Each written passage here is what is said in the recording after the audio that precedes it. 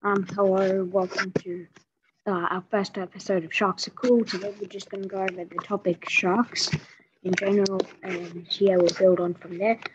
Um, so you may think sharks are scary creatures, but they're actually pretty amazing creatures.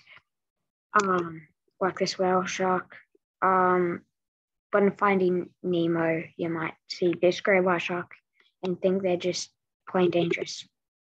Um, there are over 300 species um, of sharks, um, some potentially deadly, uh, like the great white shark, some very calm, like the whale shark down the bottom, um, and some just weird, like the goblin shark with its long nose and the thresher shark with its long tail.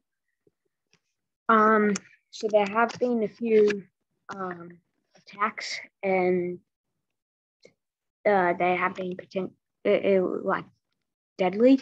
Um, but they uh, scientists believe they don't, don't actually like the taste of us, and if you don't do, if you just swim away slowly, don't enter their territory, aka the ocean, um, you should be fine.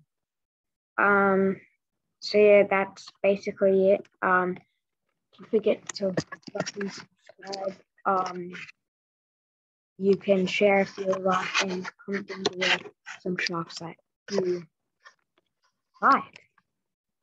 So yeah, that's it for now. Bye.